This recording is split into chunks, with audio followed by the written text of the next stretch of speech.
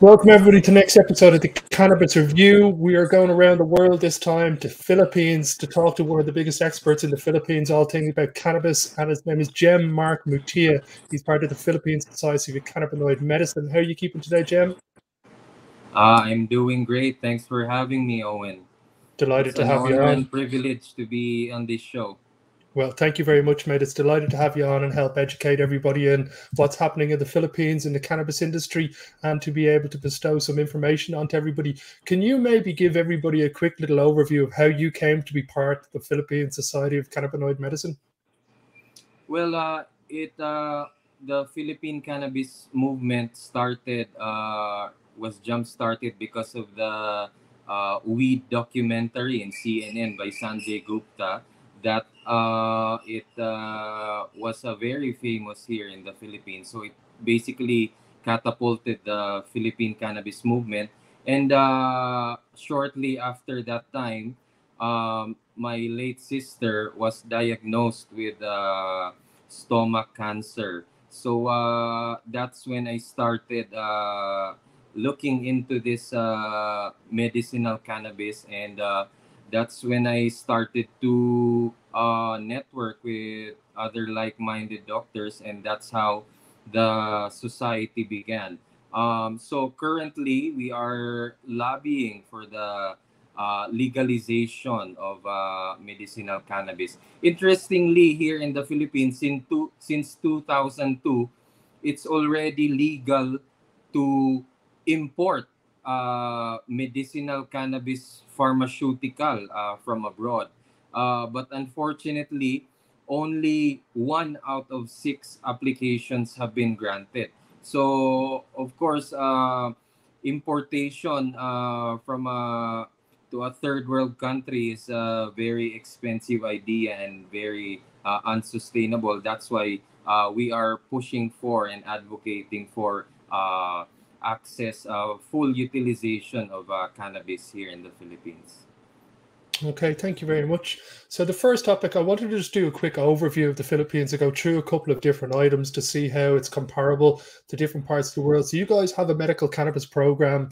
You've been able to import uh, medical cannabis. What is the list of ailments that sits on your medical cannabis program? Is it chronic pain, neuropathic pain, or is it Dravet syndrome and uh, and seizures, and it's it's restricted to that?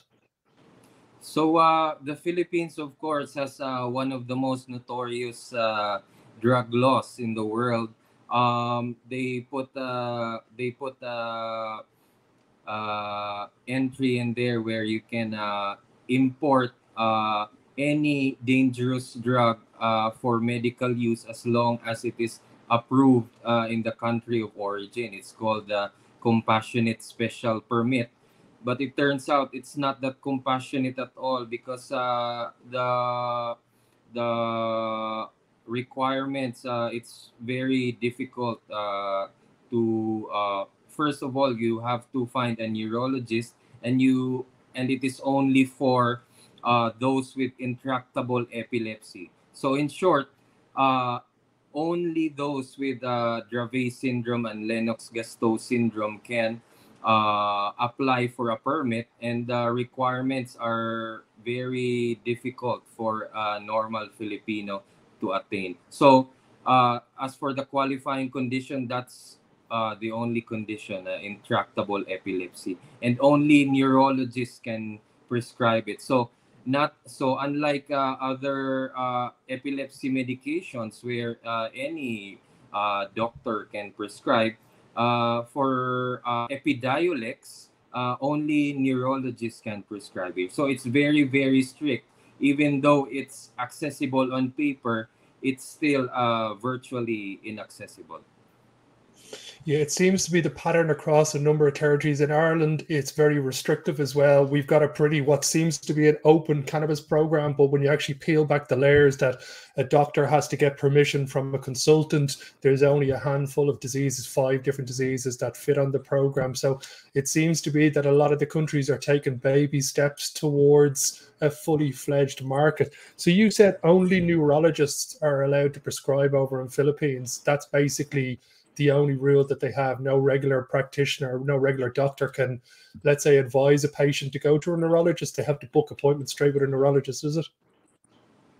Uh, yes, uh, here in the Philippines, uh, you can go straight to a neurologist. Uh, unfortunately, it is very difficult to find a neurologist that is willing to or has a faintest idea about medicinal cannabis. So that's another hurdle to cross. And if you find a neurologist, uh, uh, the cost of importing Epidiolex, uh, uh, the cost of Epidiolex is uh, already like uh, almost one month salary of a normal uh, Filipino family. So they can only afford the medicine if they don't eat for a month. So uh, that's uh, one of the that's the main reasons why uh, we are really pushing for locally produced uh, uh, medicinal cannabis. Yeah, well, we saw from Jazz Pharmaceuticals really recently published that they're on course to turn over a billion euro in Epid- Epidiolex sales and did 163 million in the last quarter alone. So I does I don't think that they seem to be making it a product or uh, that can be satisfying the world needs. Do you see a locally sourced version of a product like Epidiolex or Dronabinol being created in your part of the world? Uh, yes, uh, there is a bill now. Uh, it has been, it's already, the medicinal cannabis compassionate bill uh, was first filed uh, three presidents ago in uh, 2013. Uh, unfortunately, it doesn't get passed. Uh, but basically, it's um, about uh, establishing medical cannabis compassionate centers, uh, which uh, controls everything from cultivation to manufacturing and dispensing no so if the that that's uh what is up in the congress right now so government produced uh medicinal cannabis so uh we are seeing a bit of uh light right now because uh majority of the senators and majority of the congressmen um have uh, allegedly uh, supported it. And uh, our new president uh, uh, allegedly also uh, is very supportive of it. Uh, of course, uh, everyone knows uh, what's happening in Thailand. What's happening in Thailand?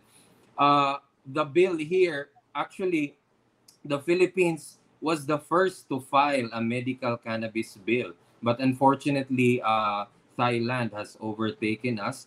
Uh, and in a blink of an eye, uh, with the pandemic, they have gone from medicinal to now recreational. So uh, I think um, the, the Philippine policymakers uh, have noticed that. And also as well, when we talk with the other Southeast Asian advocates, uh, we know some of them, uh, just like in Malaysia where death penalty is um, uh, applicable for cannabis, they I think they're about to do also a 180 degree turnaround. So from uh, death penalty to now to legalization. So it's very uh, nice and uh, of course uh, it's long overdue. So uh, yes, we see a locally produced, uh, not just CBD only, but uh, hopefully all the medicinal properties of the plant can be locally produced in pharmaceutical grade. Yeah, that was going to be my next question. Where you guys are positioned in the world, you've got Australia below you and Thailand above you to the left.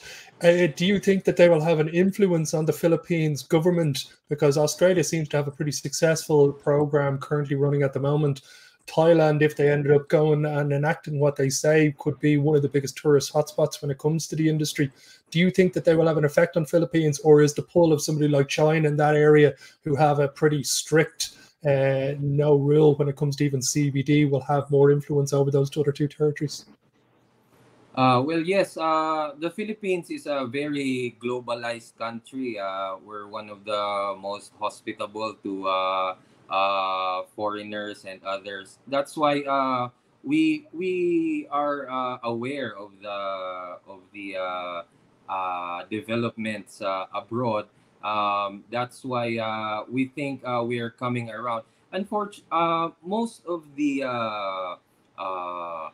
literate population, I think, is open to the idea. Unfortunately, uh, the Philippines is still a country uh, where majority is uh, in the uh, class D and E social economic class. So we we have a lot of educating to do.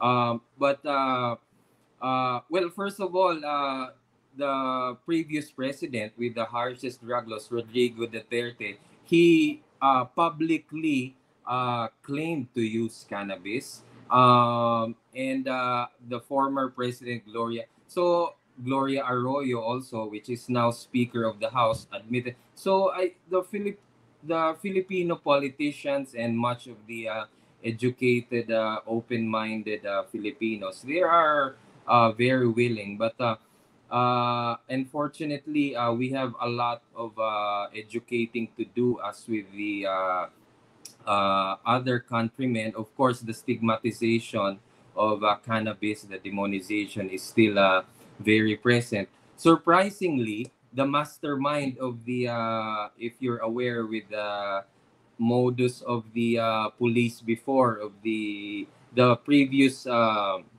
the previous chief of police, now Senator Robert, uh, I mean Ronald De La Rosa, he's the mastermind of the uh, drug operations responsible, of course, for the thousands of uh, uh, uh, allegedly uh, victims of drugs. He is now in support of medicinal cannabis. So it's very, very, it's very, very inspiring, and we hope also to do some modifications in the bill because again, the bill now is already eight years old, and uh, we have seen uh, it was patterned uh, eight years ago, and because of the developments uh, around uh, the world, we want to somewhat um, uh, see some modifications on it. The lessons that other countries learned, we want to uh, apply it into the uh, current bill. Very good. Next topic I wanted to jump on to quickly was the cannabis and the central nervous system. Do you see the real breakthrough in medical cannabis coming from research that targets specific parts of the central nervous system utilizing cannabinoids?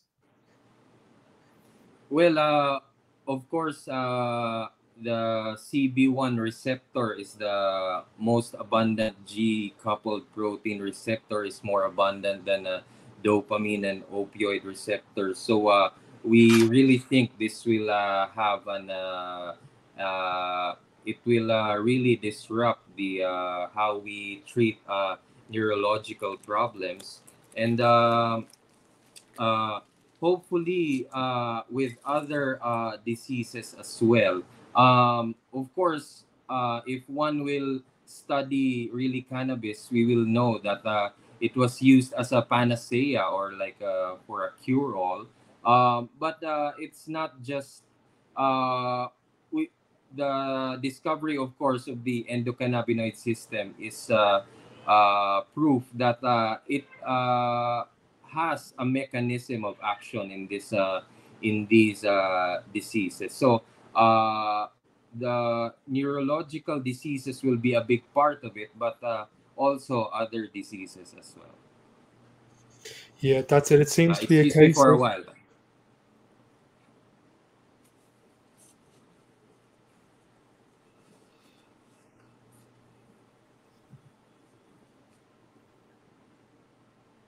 Uh, yes, yes, Owen. Thank you very much, Gem Marq. It's very much uh, appreciated and getting to talk to you and giving everybody a quick overview of the Philippines. Hopefully, we can get to touch base over the next six to 12 months and have a part two to this conversation. And both Ireland and the Philippines have marched a little bit forward in their medical cannabis programs. Yes, uh, thank you so much. Uh, really, the 15 minutes is uh, is a short time. We can't uh, come back to talk.